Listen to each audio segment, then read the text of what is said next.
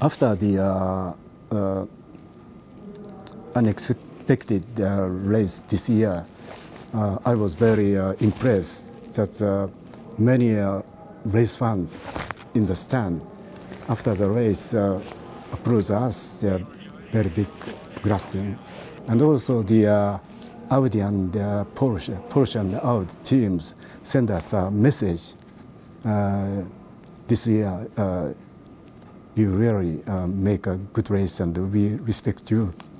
And I mentioned the fear that uh, through such a uh, result, result isn't uh, not happy for us, but such a very big drama uh, we can really accept by the uh, European motorsports. And I'm proud our team. Yeah. At that very moment, I was just uh, in the Toyota's uh, pit garage, and uh, that time I couldn't believe uh, what happened, and also I couldn't hide my shock. And but uh, I uh, sometimes told to my staff colleagues that until we got the flag, no one said who is the winner but uh, uh, this year's Le Mans is just for us. after the almost 24 hours running, racing, at rest is only three to four minutes. That happened. Unbelievable.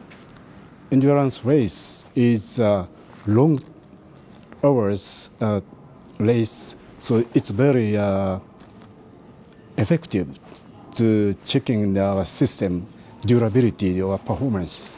From the viewpoint of the uh, new technology, uh, this uh, WEC is very suitable because they uh, usually accept the new technology in the race.